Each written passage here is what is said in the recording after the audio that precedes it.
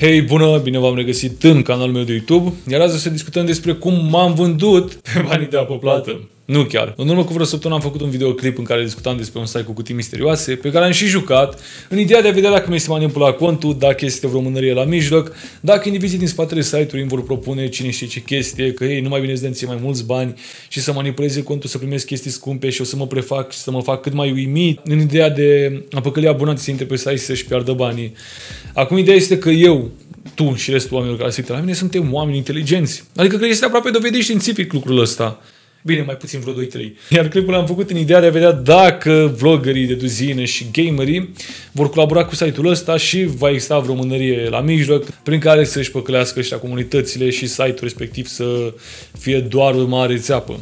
Uh, pentru că tot am primit mesaje în ultima perioadă de la oameni că, ei, Losfa, Marius Cătălin știa promova site-ul ăsta, este o țeapă, este o mânărie, este vreo chichiță la mijloc. Ba chiar am primit și etichetele în tutorial. Iar eu puteam să fac două chestii. Puteam să-mi dau cu uh, presupusul necunoștință de cauză și să zic că, mă, da, poate e țeapă, mă, poate nu-i țeapă. Sau puteam să fac ce am făcut acum, cea mai bună variantă, să mă infiltrez între ei, să bat palma cu ei, pentru că indivizii m-au contactat și în urmă cu câteva luni, și să zic că hai, mă, hai să colaborăm și să văd dacă îmi vor ști dinainte că hei, facem o schemă sau dacă mi se manipula contul. Acum ideea este că clipul meu nu ai cum să le iei drept reclamă. Adică ai fi foarte stupid să zici că ai este o reclamă, cum au și zis oamenii, pentru că ar fi fost una dintre cele mai proaste reclame. Ați văzut ce am zis în clipul respectiv. Și trecând peste toate astea, 20 de oameni foarte indignați au zis că, mă frate, justițiarul YouTube-ului s-a vândut s-a alăturat lor, frate, uite, e unul dintre ei acum. Uh, lasă frate că trebuie să mănânce și gura lui ceva, trebuie să-l înțelegem. Te-ai târfi, mă, frate, și nu știu ce. Și am râs inițial când am citit comentariile, ba chiar m-am amuzat, că uite mă, frate, s-a vândut justițiarul YouTube-ului. Și am zis că, mă, de dragul comentariilor care m-au făcut să, să râd, hai să explic puțin situația, ca să vedeți cât de bătuți în cap sunt cei 20 de indivizi care mi-au zis asta. Bun, acum ce a supărat pe ăștia 20 de oameni care mi-au lăsat comentariile astea? Prima chestie ar fi fost că, mă frate, ai zis tu chestia acolo despre ei, că mă, s-ar putea să fie un țeapă, că nu știu ce. Dar ai lăsat link în descriere către site-ul lor. Da, pentru că indivizii ăștia n-au văzut în viața lor un contract. Și în contract ai niște clauze. Și una dintre clauze a fost să las link către site-ul lor uh, cu cutii misterioase și către, uh, zi, către rețelele lor de socializare. Iar chestia care a deranjat și mai tare a fost că, mă, frate, recunoaște că ai primit bani. Ai primit bani ca să te joci tu pe site-ul ăla. Da, era la mintea cocoșului că am primit bani și am făcut Adică am îmbinat util cu plăcutul, am primit și bani ca să... Acum revenim, imediat o să vă zic câți bani am primit. Uh, am îmbinat util și plăcutul, da? Mi-am făcut treaba cum mi-o fac de obicei, bine, și am arătat tot ce era de arătat, iar pe lângă am primit și niște bani. Acum problema nu este că am primit bani, ci câți bani a primit nenorocitul ăsta, frate, ca să se vândă. Frate, dacă nu s-a vândut ăsta până acum, înseamnă că acum s-a vândut scump. Bun, evident că n-am cum să vă zic suma exactă pe care am primit-o uh, de la ăștia, pentru că am semnat un contract, dar haideți să vă faceți o impresie cam câți bani am primit. Să zicem că am primit banii pe care îi dau pe apă plată în două luni. Da, ăștia sunt banii. Oamenii mi-au oferit o sumă, apoi au tot negociat în jos și am zis de fiecare dată ok. Ok, ok, pentru că nu mă interesa suma. Vă dați seama că nu m-a interesat suma pe care mi-o dădeau ăștia. Puteau să-mi dea și da, și treaba asta spune despre tine multe lucruri, dacă și după videoclipul ăsta încă să că, mă frate, Los Pas s-a vândut.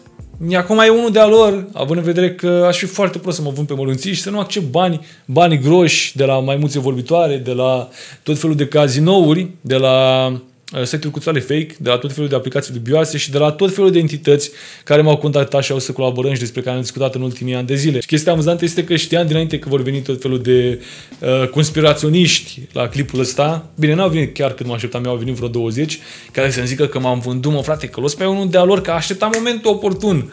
Uh, și am și zis în intro inițial de la clip, pe care l-am tăiat, pentru că am avut o clauză în contract, să fac intro de 2 minute și ceva și îl făcusem de 5. Și am și zis acolo că m-am primit banii de apă plată pe vreo două luni de la ăștia, adică o să-i primesc.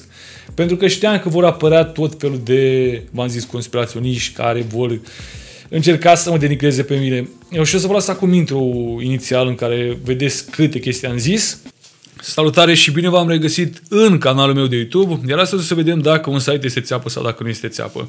De Drake cred că știți cu toți, am mai făcut un clip în urmă cu câțiva ani de zile despre, în care am vorbit despre cum niște youtuberi bulangii erau, uite așa cu ea de la Drake și știau dinainte ce, ce vor primi la cutiile misterioase de pe site, pentru că cei de la Drake le zicea că, uite, veți primi chestia cu tare și cu tare, care erau niște obiecte scumpe și cât mai interesante, iar voi să încercați să aveți niște reacții cât mai naturale și cât mai wow, care să intrige oamenii, să intre pe site, să-și bage banii.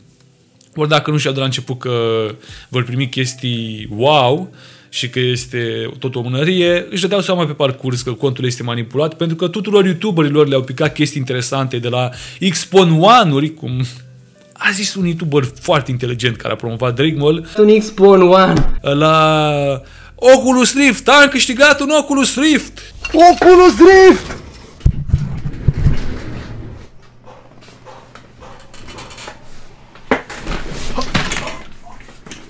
Am primit un Oculus Rift! La iPhone-uri, la PlayStation-uri, la tablete, la televizoare și la cine știe ce chestie cât mai scumpă. Iar în schimb, dacă youtuberilor le picau chestiile astea, abonaților lor le picau cleme de păr și josete. Da, o porcărie.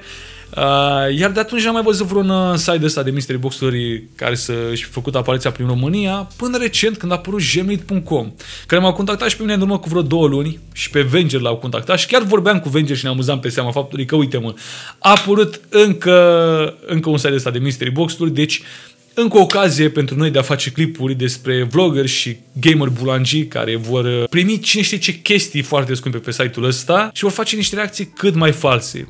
Ne gândeam că este un fel de Drake Mall. Dar am căutat pe Google atunci cu Venger și n-am găsit niciun rezultat cum că ar fi o vreo țeapă. Am găsit numai chestii pozitive spre surprinderea noastră. Ba chiar au aici uh, o secțiune de recenzii de la clienți. Ringrazio Mystery Box per la fantastica video. Ideea este că permiteți-mi să fiu destul de sceptic și să zic că, mă, ăștia pot fi și oameni de pe cine știe ce site de freelancing care să fi fost plătiți cu 20-30 de dolari să facă clipurile astea în care să laude gemii. I-am căutat pe Fiverr și pe alte site de freelancing câteva ore, nu i-am găsit pe niciunul de aici. Deci este un lucru bun. Ar putea fi clienți reali, spre surprinderea noastră. Uh, ideea este că de atunci am vrut să văd dacă este țeapă sau nu și singura modalitate de a afla dacă este țeapă este aceea de a mă infiltra. Pentru că eu degeaba pot să-mi dau cu presupus să zic că este țeapă, dar degeaba dacă nu am vreo dovadă. Dar m-am gândit atunci, în urmă cu două luni, că mă, degeaba mă infiltrez eu și accept banii aia pe care mi dau, că literalmente mie oamenii ăștia auzi că îmi vor da banii pe care eu îi dau pe apă plată în două luni. Am așa vag impresie că nu o să primesc uh, banii după ce fac clipul ăsta și atunci mi-am pus întrebarea asta, mă, degeaba arăt dacă este țeapă sau nu, pentru că nimeni nu l-a promovat în România și am lăsat o baltă, dar de vreo două săptămâni au început oamenii să-mi dea mesaje că, ei, Lospa, uite, Marius Cătălin a promovat un site de de mystery box-uri, spune-ne dacă este țeapă, oare este țeapă, oare este pe bune, și am dat click pe linkurile pe care mi-au trimis oamenii și aparent a făcut Marius Cătălin. Și în caz că nu știți cine este Marius Cătălin, este un individ care a promovat în trecut și Drake Mall, deci permiteți-mi să nu am încredere în el și știu că avea ceva de genul uh, în titlul clipului că a câștigat un iPhone 11 sau iPhone 12. Și nu m-am uitat la porcăria aia de clip, o să mă uit imediat după ce, după ce joc, cum zice, diamantele astea de pe site. Și le-am dat ăsta de la Gemit mail și le-am zis, uite, hai să colaborăm. Și mi-au băgat ăștia bani în cont, mi-au băgat aici, cred că sunt vreo 1500 de lei, ceva de genul. Și ideea este că nu mi-au zis că, uite, vei primi chestia cu tare sau cu tare, deci este un lucru bun. Dar vreau să vă zic că orice casă va ieși mereu pe plus. Deci să nu vă aveți impresia că site-urile astea vor ieși vreodată în pierdere. Nu. În orice caz, dacă sunteți copii, să nu vă treacă prin gând să băgați vreun bani pe site-ul ăsta, iar dacă sunteți majori și, nu știu, vreți să vă încercați norocul, banii puteți să băgați pe site-ul ăsta să primiți șosete, probabil. Sau cine știe ce. Vom afla imediat dacă este țeapă sau nu. Înainte de a juca uh, banii ăștia pe care mi-au băgat în cont, eu asta vreau să văd, dacă este contul manipulat. Uh, am vrut să bag și eu câteva sute de lei din buzunarul meu și să-mi fac un cont uh, care să apară că este din altă țară și să joc banii mei versus banii pe care mi-a băgat de pe contul ăsta și să fac la sfârșit o comparație. Ce am primit pe contul ăsta pe care mi-a băgat ei bani și am primit pe contul uh, pe care am băgat eu bani. Dar aparent merge doar să faci plata cu cardul și știți că eram card uh, bancar online. mă simt așa de amuzat pe seama faptului că joc pe un site de mystery box-uri. Da, și cam asta a fost clipul în care m-am vândut. Uh, da, S-a văzut, mă, fratele ăsta, nu mai, e, e unul dintre ei acum, nu, nu, nu, iar noi ne auzim mâine și poimine la aceeași oră, cred.